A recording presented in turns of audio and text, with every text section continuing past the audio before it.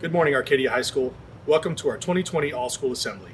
Please rise for our national anthem performed by Chanteurs.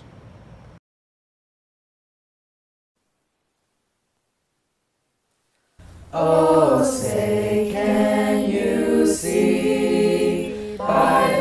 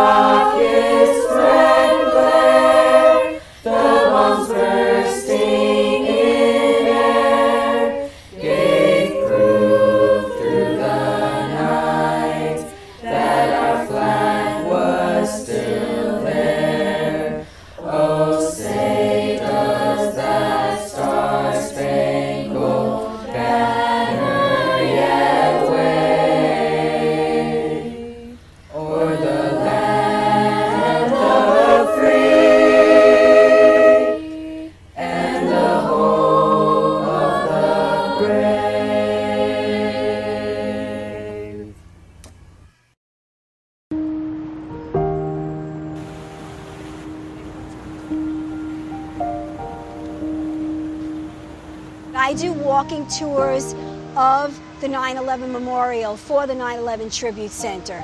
And I meet people on my tours from all four corners of the globe. On every one of my tours, I mention that most people don't remember what they did yesterday.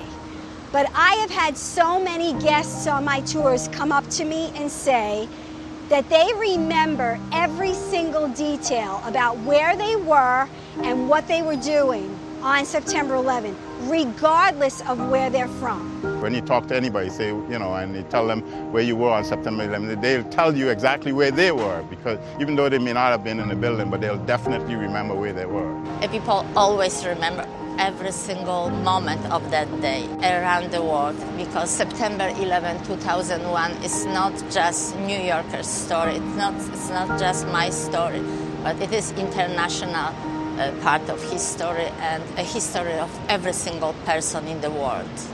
And what I say to my guests all the time is that's your 9 11 story. And you should tell it because by telling it, by doing so, you help us to share history and you help us to keep the spirit of what happened here alive. I'm inspired by that. That gives me so much hope. I believe September 11th would be the equivalent of D-Day for certain generations or Pearl Harbor or when JFK was assassinated, you know, those seminal, you know, markers in your, in your history, in your lifetime. My cousin was in Pearl Harbor. My father and grandfather remember Pearl Harbor. These generations will need to remember. I think it's important to try to remember some tragedies and remember that life can be very precious and can, uh, can be gone in a flash. These are emotional memories that cannot be translated into a textbook. These are stories that we tell people, and hopefully the generation will understand this here and bring it forward to the, next generation. I feel that a lot of people use September 11th to remember the wrong things, to remember the divisions instead of what brought us together. And I think as more and more time goes by, more and more people just remember the hate that caused that act instead of the love that followed it. We were all one that day. People from New York, DC, all over the country and all over the world. Everybody was united. I think that's why everybody remembers where they were, because everybody's heart was here. I remember. I remember. I remember. I remember September 11th. I remember September 11. I remember September 11th. I remember September 11th. I remember September 11th.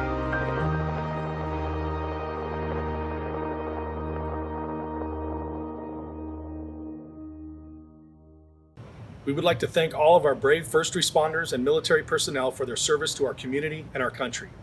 19 years ago today, our country and our world changed forever. 2,977 innocent people were killed in simultaneous terror attacks on the World Trade Center, the Pentagon, and on Flight 93 over Pennsylvania. This included 343 firefighters and 60 police officers who selflessly ran into harm's way to help rescue the innocent victims of the attack. Please join me in a moment of silence as we remember all of the innocent victims whose lives were taken that day, the heroic responders who lost their lives running into danger, and the men and women of our armed forces who have paid the ultimate sacrifice fighting for our continued freedom.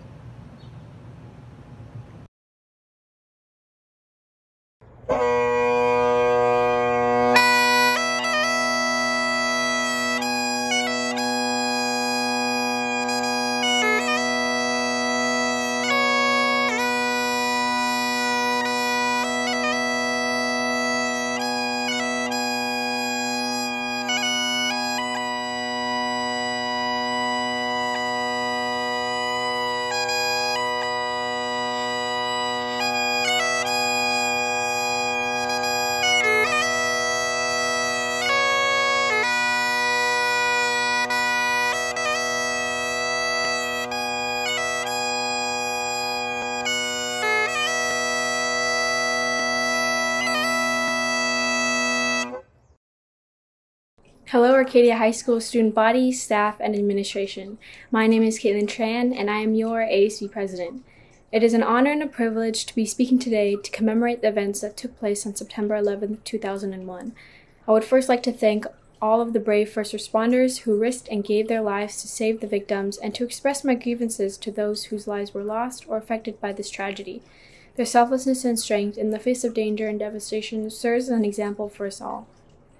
Generation Z as a whole has never faced a life changing experience until now.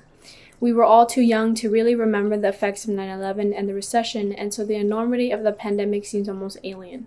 Growing up, I had never once expected I'd be living through a global pandemic, and I'm sure that this entire situation has been as shocking for you as it has been for me. So, I'd like to take this time to speak to the classes and staff of Arcadia High School about living through this pandemic as best as we can. Firstly, be responsible. On 9 11, heroic first responders risked their lives to save as many people as they could. Now, hundreds and thousands of healthcare workers, grocery workers, and other people with essential jobs are actively risking their well being to maintain our quality of life during this pandemic. It is only right that we honor their sacrifice by staying home whenever possible, avoiding unnecessary outings, and wearing masks and practicing proper hygiene whenever we need to go out.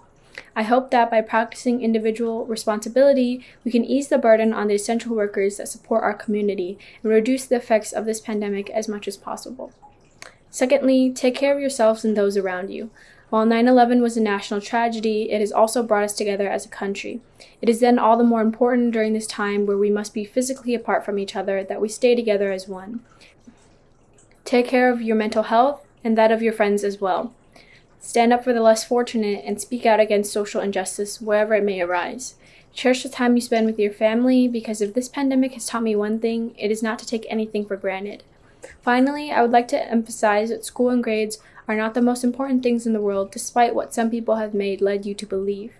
I'm sorry this year of your high school experience has been so unorthodox, but I hope that you can make the most out of it and still have fun along the way. To my freshmen, sophomore, and juniors, make sure to take care of yourself and not to burn out so that you can still enjoy the more normal school years that have yet to come.